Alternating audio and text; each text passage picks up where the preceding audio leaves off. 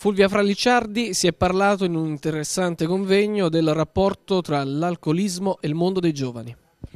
Allora, il convegno eh, sui giovani è nato mh, mm, in pochi giorni perché durante eh, le, la Pasquetta una nostra eh, amica aveva eh, prestato eh, la campagna ai ragazzi per utilizzarla come si fa in tutte le Pasquette. Poi si è affacciata quasi per gioco e si è trovata davanti delle scene allucinanti per noi genitori, ragazzine di 12-13 anni con le bottiglie di vodka in mano dietro i cespugli che si sentivano male. Il, mm, questo convegno è il terzo sull'educazione, noi avevamo già eh, intenzione di parlare di un altro tema, perciò in corsa abbiamo eh, cambiato argomento.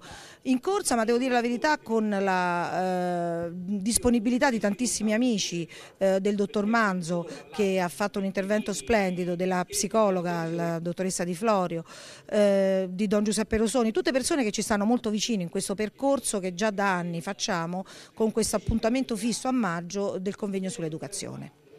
Tra l'altro la partecipazione, tra le altre la partecipazione è stata ampia, soprattutto tra i più giovani, questo è un segnale positivo. Sì. Per questo dobbiamo ringraziare l'avvocato Alessandro Giorgi che eh, ha lavorato tanto con i ragazzi del, del liceo e ha portato eh, le loro testimonianze qui. Adesso poco fa una ragazza ha parlato e noi genitori eh, ci siamo sentiti tutti eh, chiamati in causa perché ci siamo resi conto di come i giovani chiedono a noi genitori di riappropriarci del nostro ruolo. Eh, basta di fare gli amici, i genitori eh, non devono essere amici, devono essere i genitori e la cosa bella è che è stata questa giovanissima ragazza che ha partecipato, Martina, che ci ha pungolato su questo, proprio su questo argomento.